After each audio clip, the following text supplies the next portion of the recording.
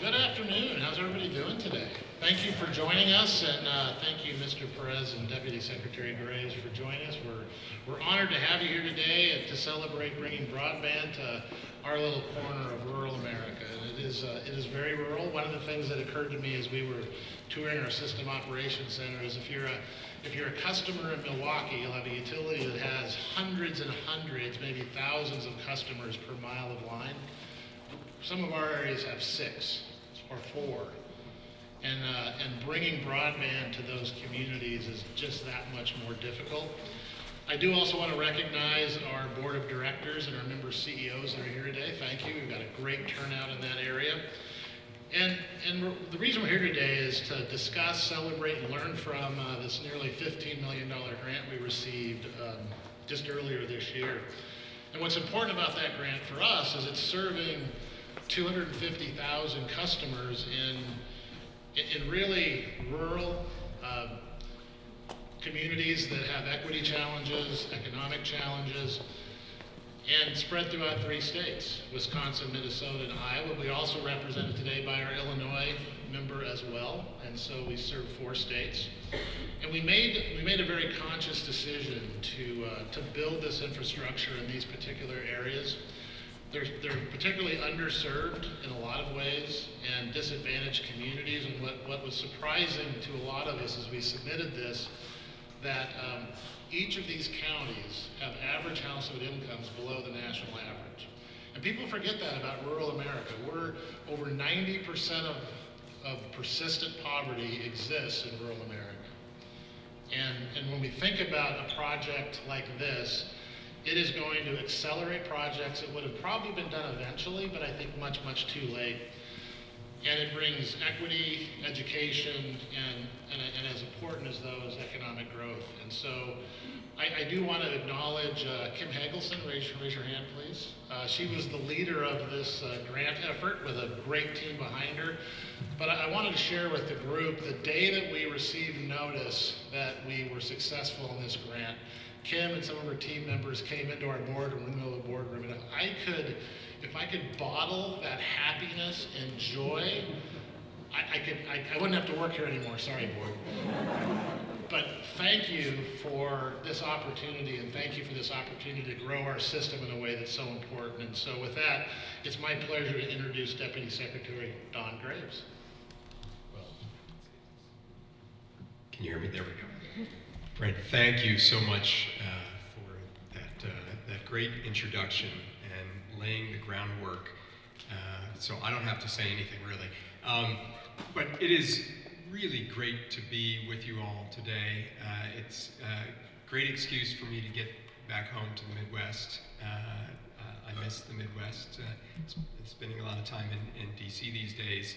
Um, I want to thank my good friend, Secretary Tom Perez uh, for being here with me to really bring attention to what I think is a critical issue and a critical opportunity uh, for our country.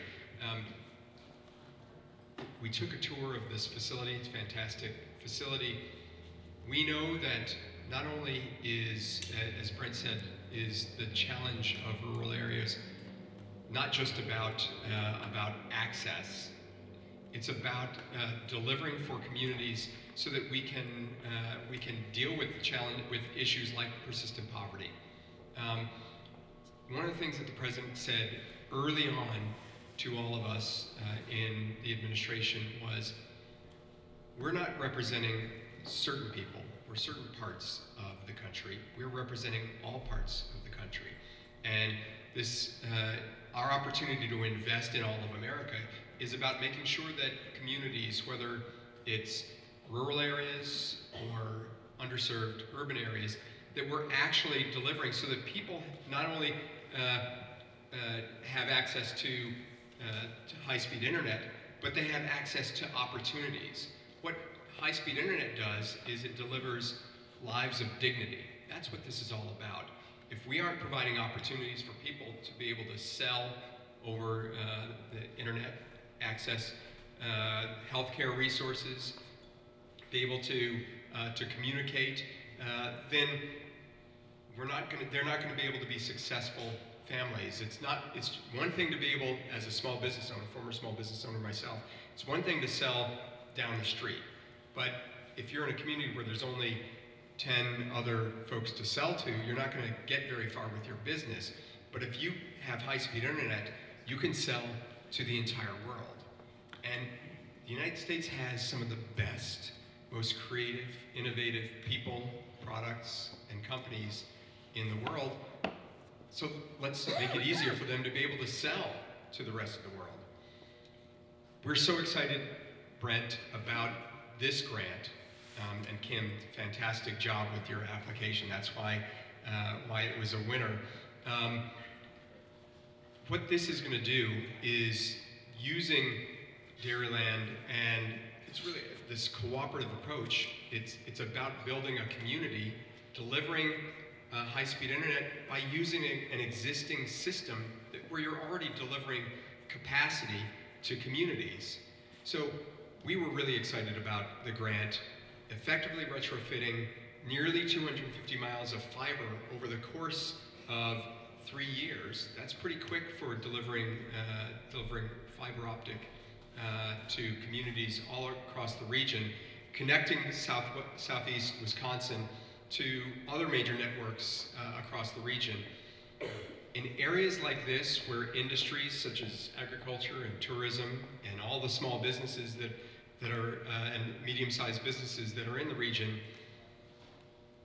their destiny, uh, the individual destiny of those companies is the destiny uh, and uh, potentially the economic prosperity of the entire region. So it's critically important that we deliver high-speed internet to the entire community. The truth is that you all can't compete without it. Um, I'm not going to bore you with too many uh, stats. The great thing is the bipartisan infrastructure law is allowing us to connect every family, every household, every street in the United States for the first time to high-speed internet. Um, $45 billion to make sure that we have affordable, reliable, high-speed internet uh, everywhere. So Wisconsin, uh, in addition to the, the, the, funding that we're providing for this uh, middle mile uh, program, we're also providing a billion dollars to Wisconsin uh, for funding for the last mile connectivity, for uh, connecting tribal communities, connecting uh, uh, folks, again, to telehealth, to distance learning, to affordable uh, and digital inclusion initiatives. With that, I've talked too much. Um, I would rather listen to the rest of the group, but before I do that, let me turn it over to uh, a great friend, a great ally, a great partner, and someone who has been talking about, uh, about workers, talking about communities, talking about uh, inclusion and access for his entire career, my friend, Secretary Tom Perez. Thank you so much, Don. Uh, you know, I used to coach basketball for 15 years, and I'd watch people play, and I'd say, uh, you know, watch that person, he's got game. Don's got game. and uh, we're both Midwesterners. I grew up in Buffalo, New York. He grew up in the uh, Cleveland area. And uh, my wife is from Milwaukee, and we got married there, and we spent a lot of time up in Marinette County. So it's always wonderful to uh, be back in the Midwest, as Don correctly said. Uh, Brent, thank you for your leadership, and thank you to everyone on your team. Uh, you know, you, you said the following word more than once in your brief and really cogent opening remarks, and that is the word equity. Uh, early on in the president's tenure, when we knew that we were in a world of hurt because of this pandemic. But if you look at our nation's history, moments of greatest crisis have also been moments of remarkable opportunity. You know, when I was your labor secretary, most of the laws we enforced were a product of the New Deal. And I had the privilege of leading the Civil Rights Division of the Justice Department during the first term of President Obama. And most of the laws we enforced were a product of the civil rights movement in the 60s. This is another one of these moments now. And, and one of the most important things we want to communicate is that we need to meet the moment. And that's exactly what you did in this grant, meeting the moment, making sure that we can do this. Um, I was really excited that one of our speakers, one of our panelists is Kim, who operates a federally qualified um, health clinic. You know, when I think of healthcare, there's, there's, it's a three-legged stool, access, quality, cost. It's the same thing in this context. Broadband is no different than water, electricity, and healthcare. They are a fundamental right that every community should enjoy, and we should be doing our level best to make sure that there's access to quality, accessible broadband. I, we have, uh, in Western Maryland, I live in Maryland, in Western Maryland, the westernmost county has one psychiatrist. We have a mental health crisis in this country. And what we learned during the pandemic was telemedicine was essential in communities to deliver health care. Problem is, you know, here in Wisconsin, for instance, um, roughly 11% of households and businesses lacked basic internet service, another 20% lacked high-speed internet. And so that cohort was out of luck. And that's why the fundamental value proposition for the president is equity, making sure that tribal communities have access. And I appreciate the presence of the Ho-Chunk Nation here. Making sure that rural communities have access. As you correctly point out, when, what did people do during this pandemic? You know, the, the Amazons of the world were going gangbusters. But we want to make sure that the small rural business owner, I was reading about one who has a, a special um, fishing pole that they were selling out of their home. Uh, you know, right here in the La Crosse area. It's kind of hard to do it. Yeah, thank you. I was reading about you on the way here. And, you know, I gotta believe it's a little hard to do if you're on no internet or low speed internet. It's hard to go to scale. So that's what this is all about. It's about equity, access, opportunity, quality. And just remember, this is one of the, this is a moment in time that we will not see, I think, against, again in our lifetimes. A moment of tremendous opportunity because the president has said in every zip code, in every corner of this country, we want access to broadband so that people can have access to their livelihoods. That's what it's all about. And that's why I want to thank you. I love the co-op model as well. Um, I have a real affection uh, for that. So uh, coming here and seeing what you're doing. Thank you to your workers. Uh, your workforce is your backbone. And uh, I want to say thank you to all of you who are uh, toiling away. And, uh, you know, my brother got 77 inches of snow in 30 hours in Buffalo last year. and um, I know you all in situations like that are working your tails off to save lives, quite literally. So thank you for what you do day in and day out. And we will turn it back to you, Doc. Okay. Well, this is really meant to be a conversation. Um, so I know this is not a shy group. Um, uh, so feel free to jump in uh, at any point. Um, we've talked a little bit about the healthcare issues and the challenges of, uh, of access to, uh, to education and training.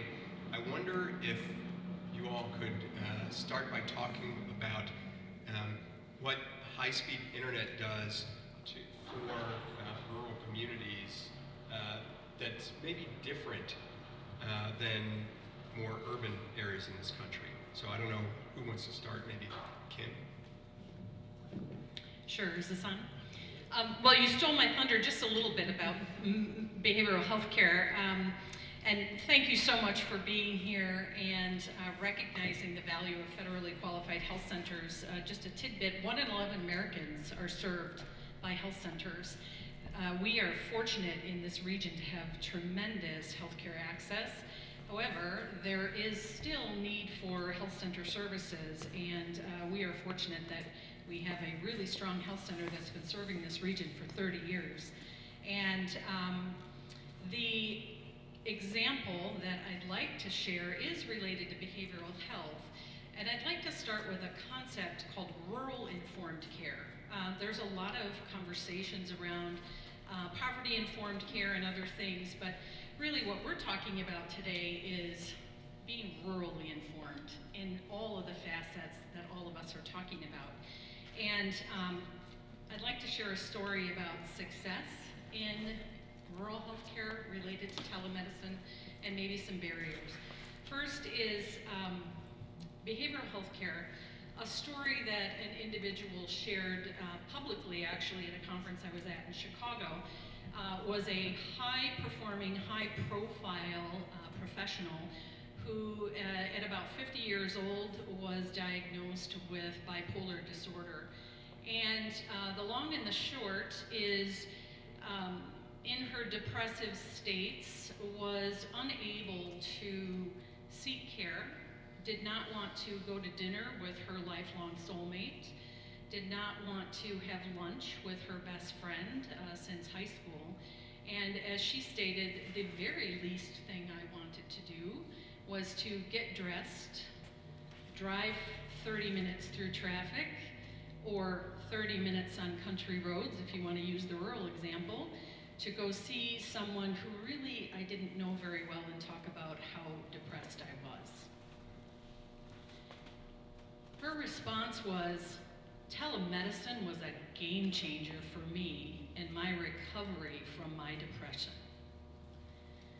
When I was in my depressive states, I made every one of my behavioral health appointments. It was a game changer. We're seeing more telemedicine appointments in behavioral health than we are in any other healthcare discipline. Telemedicine in behavioral health has been a game changer. We know we have a behavioral health crisis. Scenic Bluffs is doing telemedicine in school districts with kids. We have behavioral health providers in eight school districts, and we're doing behavioral health with kids in school districts. So there's a lot of opportunity for us to continue to expand that. The other areas that it has happened in is stroke. Uh, there are a number of healthcare providers that are doing telestroke. There are a number of diabetics that are improving their outcomes and improving their care with specialty consults just by doing an appointment from their couch with their specialist or their primary care provider and checking in on their diabetes. So telemedicine has improved outcomes and improved care. Time is brain when you talk about stroke care, and a number of providers in this community have really made a difference in rural medicine because the outcomes for people in rural communities were different before the telestroke program. So truly, broadband has made a difference for those people in rural communities. Now barriers, we also have examples, and I have shared, um, have our providers have shared a couple of stories where we have a mom uh, two small children, single mom, two small children, her behavioral health appointments, she can only do them using her cellular data. It uses all of her monthly data. And her data is not necessarily reliable. They're video appointments, so her connectivity drops frequently. It's a really disruptive appointment. She sometimes can go to the library and do it. Maybe it's private enough, but usually not. Um, so it's really difficult for her to get access to her behavioral health services or any other health services that she might want to do. So there is a challenge when there isn't reliable connectivity and or um, other patients that I, I surveyed our providers before this meeting we have a lot of providers that have broadband access, but they have old equipment or old routers, those types of things, and they don't necessarily know that the two don't go together. And so they have the same problem. They have poor connectivity, um, unreliable service, and they drop connectivity, so they just let it go, and then they don't access. I'm going to stop talking, but weather is also an issue in our area. Question. Another reason for strong broadband connectivity, so. Thanks so much, Kim. Uh, I'll turn maybe to, to Charlotte, and, and I should have said this. If you could also introduce yourselves and uh, where, what, your, what organization or institution you're representing. Same question. Yes, please. Okay. Uh, my name is Charlotte Peters. I am with the UW-Madison Division of Extension. I'm the Community Development Educator for La Crosse County. Um, I have been involved with broadband issues for La Crosse County for almost a year now in looking at where we stand as a county and what could we do or what can we do or what needs to be done. Um, recently, La Crosse County completed a survey where every single resident um, and businesses too, but I'm going to speak mainly to the residential portion of it, um, received in the mail a survey to gauge what the needs were for the community um, as far as broadband service or connectivity issues go. Um, generally, when you do a survey like this, you're lucky to get three to five percent um, of of feedback. We actually got a little over seven percent of the county to respond to this survey. So we have a lot of really excellent data on that. Um, in speaking to the telehealth uh, issue, we have a little over 23,000 seniors in this community. Telehealth for them is indispensable. I know as a care provider for my uh, father, being able to log in and do a telehealth, just a quick question or things like that saves me time away from work, saves me time away from family, and gets me the help that I need for him almost instantly. Um, being able to have our seniors log in and just ask simple questions and take care of their diabetic needs or other services like that is indispensable to them. The, the northeast to the basically the southeast section of this county is desperately underserved as far as connectivity goes. Not only do we run into the problem of there, it's so rural um, that ISPs in the past have been unwilling to put services into that area, but there are also geographical limitations and barriers that we need to address. Um, a lot of these programs for getting connectivity going are great, but they don't really address the actual cost that very rural communities are facing as far as what it really literally costs to put in a mile for service. You know, and we live in one of the most unique places in the world. We live in the driftless zone. That in itself is an issue for this type of service. You know, so um, there are so many opportunities out there and so many people, you know, that, that 7% of people that are, that are willing to, to mail in surveys because we had so many mailed in because they just don't have the connectivity those are the stories that we hear on the regular, uh, you know, from, from our community members is, I'd love to be able to do this, but I don't have internet. I'd love to be able to participate in this, but I don't have internet. You know, our school, um, rural school districts, Melrose Mindoro has um, almost 12% of their students don't have access. And it's not even an affordability issue. 83% of those people that don't have it, don't have it because they just don't have service. There is no service there for them to participate in. So I think that's, you know, coming from the rural area, it, it is very different than the metro areas. And there are, there are a ton of unserved and underserved people in these areas too, based on income and other things. But the rural communities are really at a disadvantage just because there is no service. Th- Thanks for that, Charlotte. And, and you know, I, I know Tom and I both uh, have, through the pandemic and coming out, talked to parents who uh, uh, were basically saying, what do we do? We went remote, but I only have enough connectivity. If I have connectivity for one of my kids, the bandwidth is, is too low. I can only get one of my four kids to school that day. So how do I choose who gets to go to school? That's, that's an issue. You know, thankfully, in some communities, and I'm going to turn to you next, Chris, um, there were great institutions like the library that where kids, families uh, could go, and even if it was just sitting out in the parking lot, to be able to do homework, to access telehealth, to apply for new jobs, to Uh, get services. What's been your experience or the library's experience, and how will this change how you offer service and what you can do? Again, I'm Chris McCardo Rojo. I'm with the La Crosse County Library. We operate the facilities outside the city of La Crosse in Bangor, town of Campbell, Holmen, Onalaska, and West Salem. And probably the, the one item I'll point out first is not even all five of our locations have high-speed internet right now. We still have a couple of them on DSL because of um, what is available. Um, So the pandemic had a huge impact on us with especially the, our young people. The school districts did a fabulous job getting devices in people's hands, but then the connectivity was, was just insurmountable for some people. We would have, and, and initially, when the pandemic first hit, our doors were actually closed to the public. We did what we could to, to change that very quickly. We were one of the libraries that uh, opened the fastest when we could, um, with some, you know, per capita limits of people and distancing uh, per DPI. But we pushed for that because we had children sitting on our benches outside of our buildings trying to download their homework for the day. And um, it was just a, a critically sad time. A- again, the districts did fabulous work. Um, they started uh, with meal deliveries. They would have hot spots on the buses, and they would use some of our parking lots to, to try to enhance it.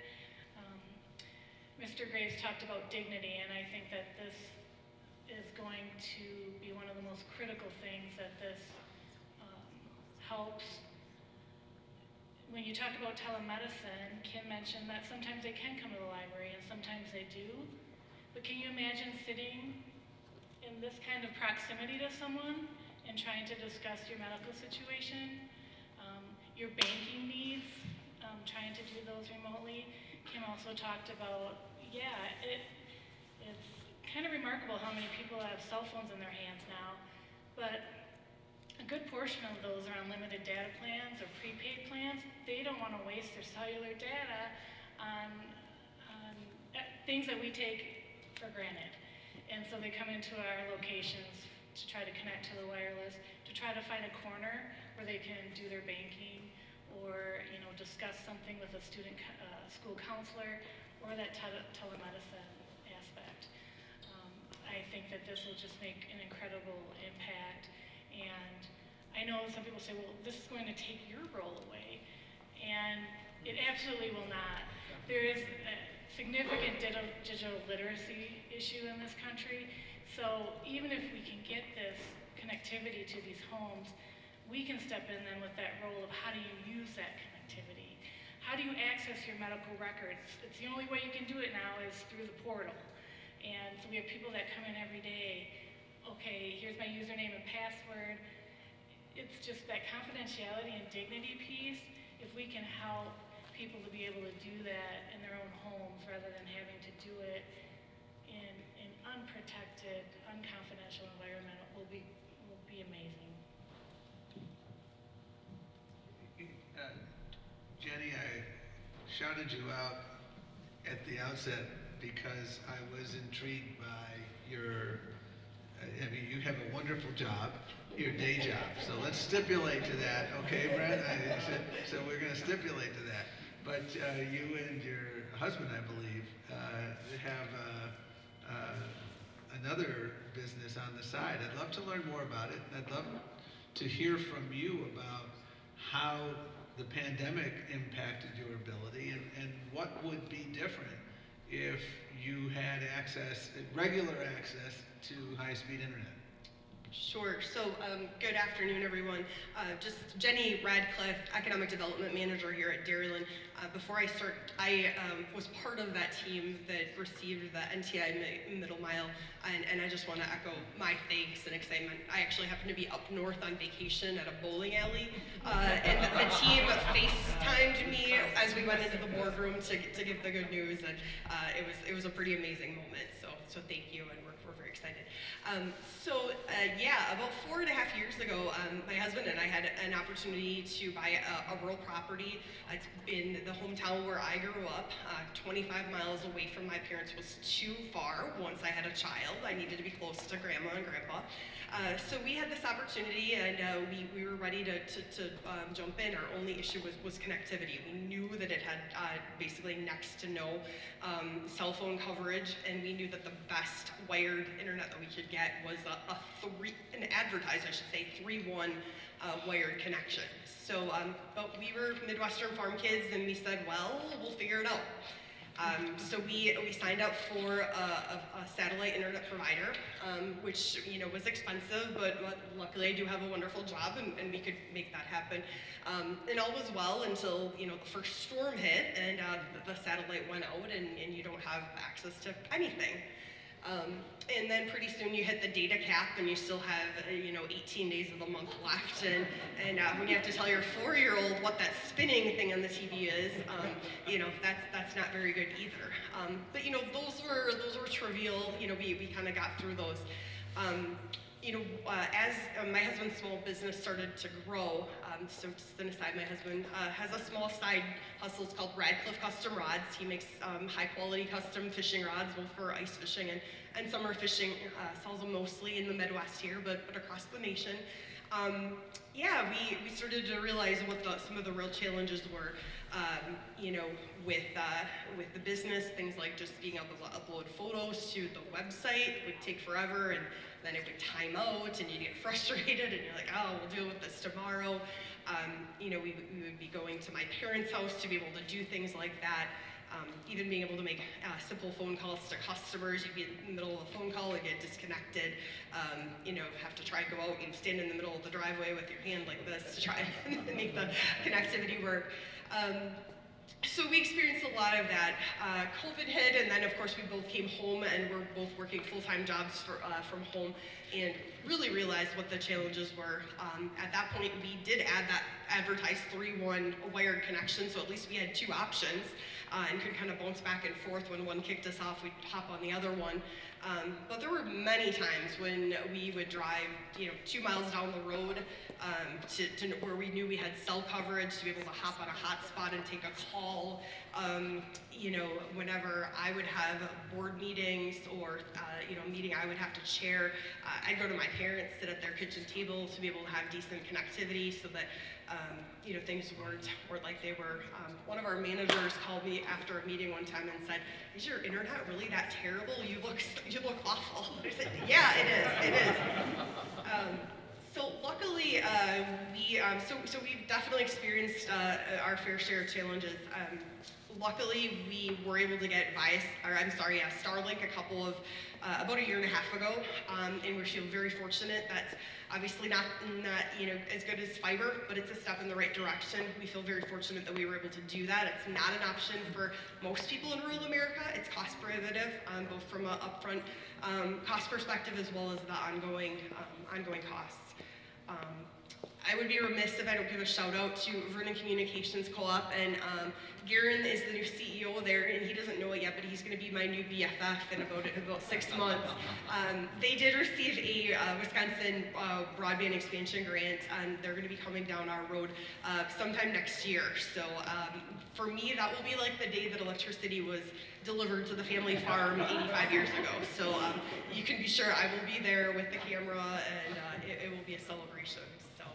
Yeah, thank you for being here. Well, thank you for that question. I, I want to make sure we give everyone a, a chance uh, moving forward here. And uh, uh, Mia, I wanted to turn to you because, uh, um, you know, one issue that has been a challenge in so many areas, whether it's healthcare delivery, whether it's broadband, whether it's other critical services, is that uh, we as a nation have underperformed in uh, addressing access to opportunity in tribal communities.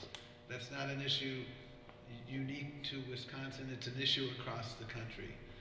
And as you think about, you know, the, the, the Ho-Chunk Nation and, um, you know, the, the, the remarkably, um, in, in, incredibly, you know, diverse and um, entrepreneurial spirit, and then you think about Gen Zers, uh, you know, what, what is the importance of making sure you have access to um, accessible, quality, affordable broadband in, in your nation? Um, so I'm Mia Falcon. Uh, I go to school at Black River Falls High School, and I'm a member of the Ho-Chunk Nation. Um, And you're doing great. um, I think that uh, during COVID, um, I had four other sisters, and we would all be online. and um, some like sometimes there'd be like on, we wouldn't be able to get on. So,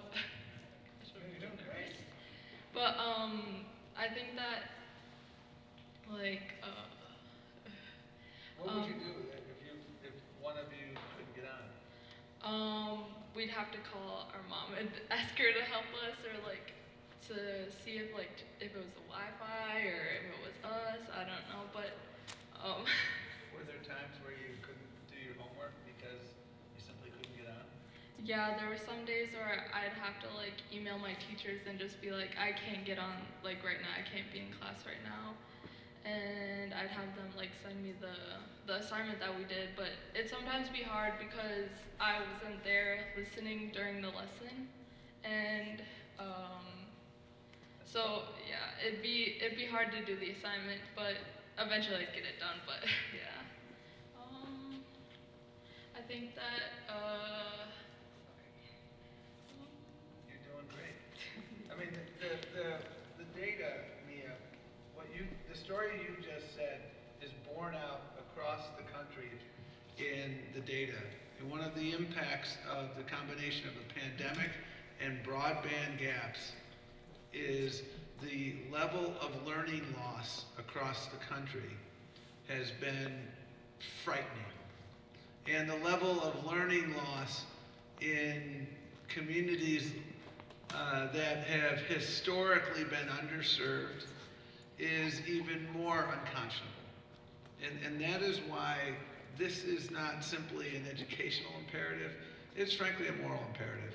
And that's what I heard you say, because you shouldn't have to draw straws to figure out who's going to be able to go to school today. And I have a feeling that's basically what you did. Thank you for being here. Can we give it up for her, by the way?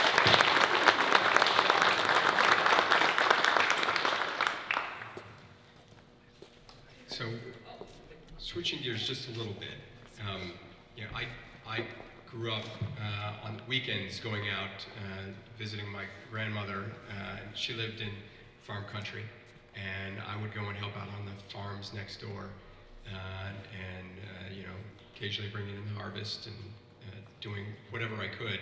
Um, a lot of people think of farms, when they think about it, they think about farms the way that farms operated 7,500 years ago. Um, but I was just at the, the port in Milwaukee uh, and uh, yesterday, and we were talking to farmers who are working directly with the port, trying to get their product out. They're thinking about global distribution. They're thinking about uh, the type of data access that they need. Maybe they're using NOAA and our National Weather Service at the Commerce Department to make determinations on when they're going to plant or when they're going to uh, harvest. What does high-speed internet access, quality, affordable, reliable high-speed internet access do for, for farmers, Darin? Thank you, Don. Uh, Darin Von uh, President of the Wisconsin Farmers Union, and a third-generation organic dairy farm from just down the road from Jenny. We actually have the same high school alma mater, so a small world there. But uh, it, it, night and day, um, you know, because if you can't get that information today, you're two weeks behind schedule on most things. And and with, you know, every farm is a business, so those farms that don't have that capability um, really struggle. Um, I happen to live in the Vernon, Communications Network, which is a cooperative, and I love co-ops because they get things done. And getting that internet access, uh, we, we've had it for um, 14, 15 years already because the Vernon Communications uh, board said we're going to go and get it done. And we had wire for a while. Now we have fi- uh, fiber optics, so you know, very rarely get cut off on anything. Um, during our board meetings, our members from the northern part of the state most time have to call in. Um, if they're lucky enough to have good internet, they can be with us for half an hour, sometimes maybe, uh, video-wise. But uh, you know, just getting your your wares from the farm out. So over the past 10 years, a lot of our members um, that have joined have been uh, community-supported agriculture folks, so CSAs, and they like to talk to their customers on a, on a regular basis, meaning probably every day if they can, especially during harvest season, summertime. And that allows them to get that word out and, and talk to their customers. But we also have a lot of those members that don't have that good access, especially, you know, if you go from line from here over to Green Bay and north of that throughout the state, um, really struggle within most rural areas. And so, uh, you know, having cooperatives, the way the cooperatives electrified the country back in the 40s, let's let's do that with this process. And know, I'd just like to say, uh, you know, thank you to uh, Secretary Perez and thank you to the Biden administration for really putting these dollars out there and allowing communities to um, get uh, fiber optic cable and getting that internet service service because it does allow us to connect with the rest of the world. Thank you for being such a great uh, spokesperson for farmers. Way too many people don't think about impact on farmers, and Joe Biden does, Tom Vilsack does, and Don Graves does. Um, and one other thing Joe Biden says, when we talk about the infrastructure bill, when we talk about the American Rescue Plan, when we talk about, uh, he was in Colorado yesterday at the world's largest manufacturer of um, stanchions for, for wind. Um, when you think about all of these investments, he thinks about it through the lens of jobs. And Nick, you know a little bit about jobs.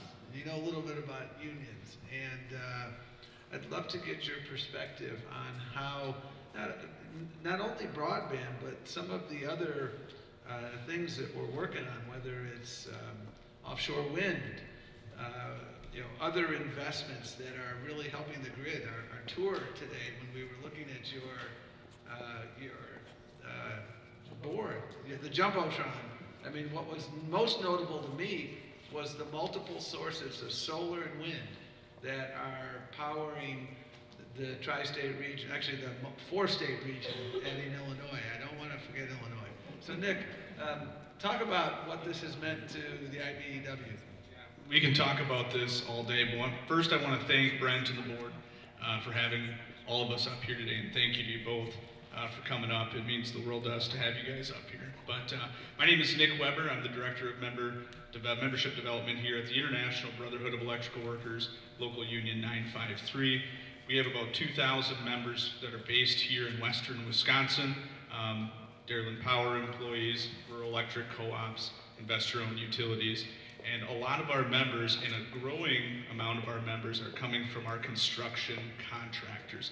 With this influx of infrastructure money that's coming to our area, we have grown our local union by almost 30% in the past three years. We have a ton of work um, coming up here, and this is why we're so excited about this. I want to share a couple of, uh, of stories here of what I've seen just personally, you know, in my five years here at the Union Hall. My first um, story was about four years ago, and I was just kind of twiddling away uh, down at the Union Hall, you know, slow, cold day, and um, there was two gentlemen that came into the Union Hall I had never met before, and they came in. They said, "Hey, we, you know, we're working at this factory right now. We don't really, you know, want to keep doing the third shift at the factory anymore. We don't see a way out of here." And we were both driving home and saw some folks on the side of the road putting in fiber. We want to do that. I said, well, that's great. I'm looking for two people right now, right? And starting, you know, and starting on that, on that, uh, you know, real basic level of construction. Um, in this, in the years that they have been, you know, in this industry, they are now running their own crews, right? And uh, learning how to run the directional drill and all those cool pieces of equipment. Um, but you know, we, we stayed in very close contact, and they said that we, you know, we bought a house, we got married, we're putting money away. You know, one of them's you know expecting a child here pretty soon, and they said I w- I wouldn't have seen myself doing that here if we had not made that change, right? Um, so there's a ton of stories just about that, and those are those are the ones here. You got bad days, but you got days like that that'll carry you on for another six months. Um, the second one, uh, second story here was just this past year.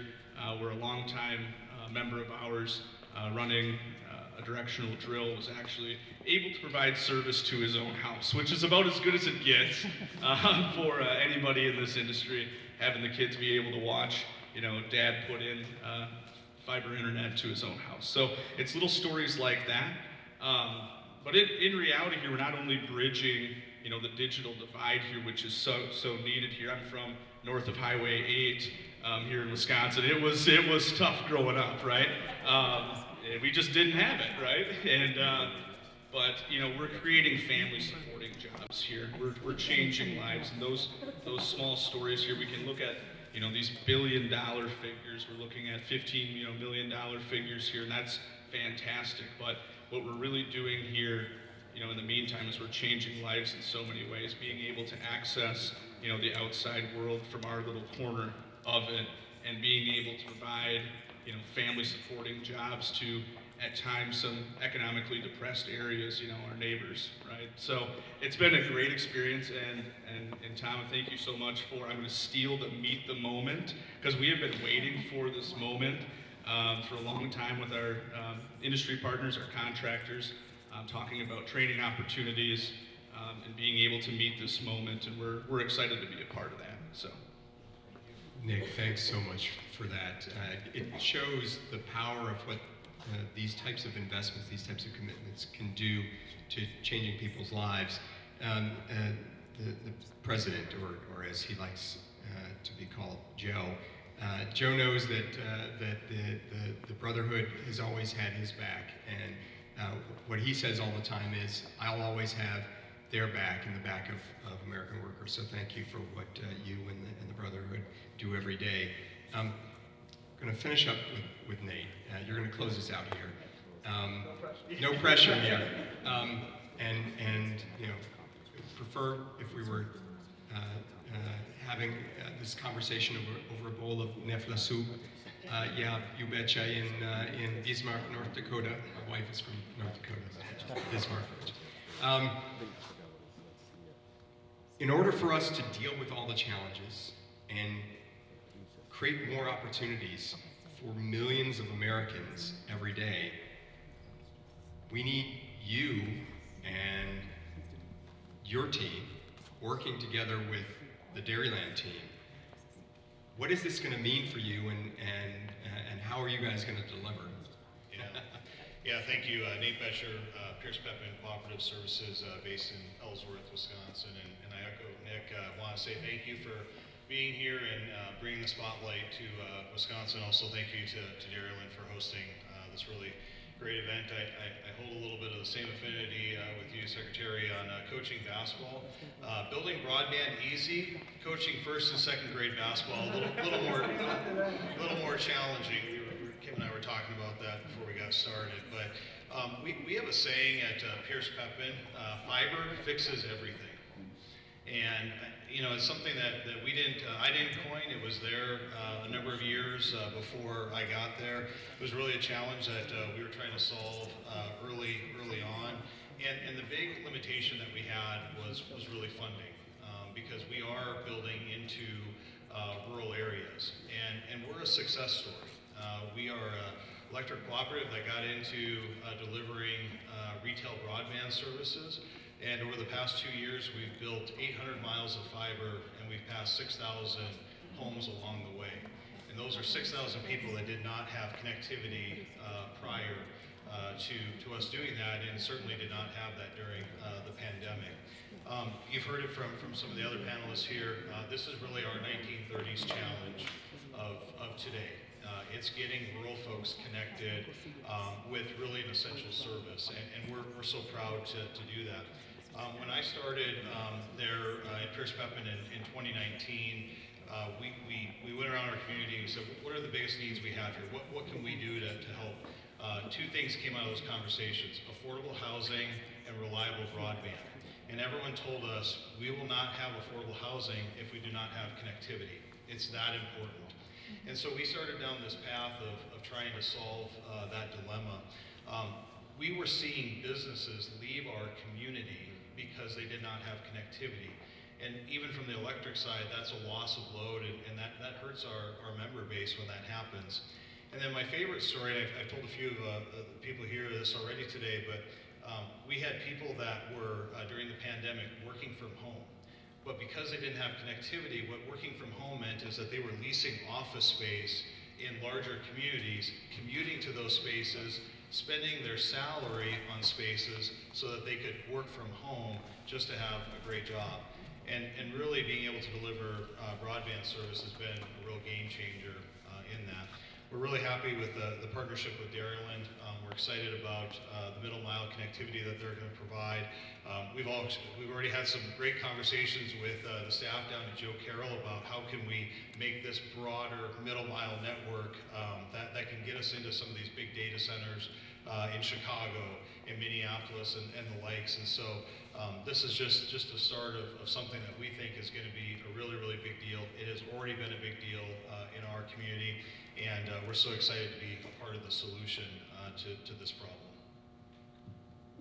Thanks so much, Nate, for that. Well, you all, I think, are getting a flavor of uh, what we hope will be a game changer uh, to communities all across this region and across the country. Um, we talk a lot about uh, big numbers, you know, this many billions or trillions of dollars. At the end of the day, what we're really talking about is people's lives.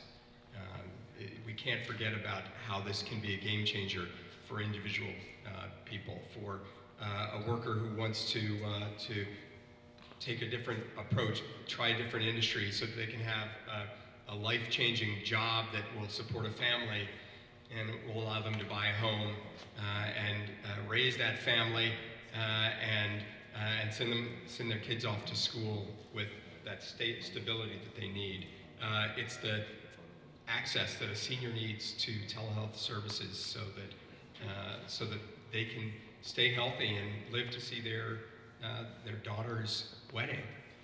it's the, the support that, that our library system uh, can provide that they can't do without this high-speed internet, or that our educational system is able to deliver to, uh, to people like Mia who just want to learn so that they can have a bright future ahead of them. So much more that we could talk about. Um, we're going to keep pushing on delivering on the bipartisan infrastructure law, delivering these billions of dollars so that we can provide lives of dignity to so many uh, millions of Americans. But before we close out, I'm going to turn it over to my friend uh, Tom to finish things up. I just asked Mia to give a note to her mother. I just wrote, Dear Mia's mom, she did a great job. You're a great mom. You know how to raise kids.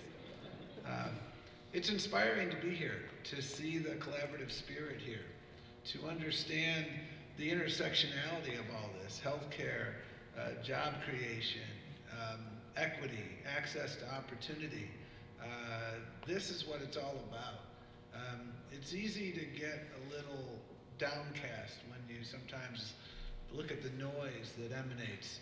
But you know what Joe Biden wants to do day in and day out. And I want to I want to finish where Don started, um, which is this isn't about red and blue. It's not about urban and rural. It's about making sure zip code never determines destiny. That's what it's all about. And that's what this investment's about. That's what this partnership is about. And I mean, you, everybody here was just so eloquent in giving a different dimension to the same challenge. I know we can meet this challenge, and I, I think you said it, Nate, at the end. This, this is our 1930s moment.